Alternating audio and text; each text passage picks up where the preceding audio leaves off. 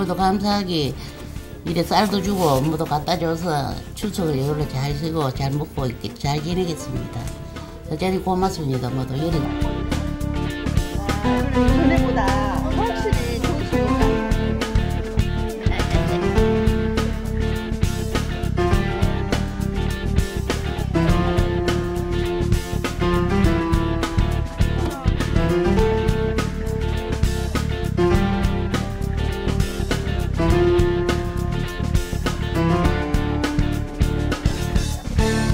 추석을 앞두고 그 어려운 취약계층 저희들이 결연을 맺고 돌보고 있는 희망부자 결연 세대가 2천 세대쯤 됩니다.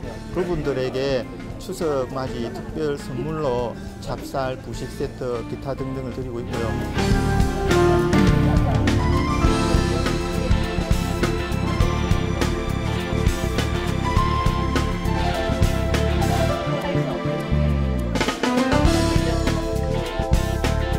혼자 있- 있기가 참 씁쓸한데 요. 이래 참 갖다 줬어요. 고맙게 잘 먹겠습니다.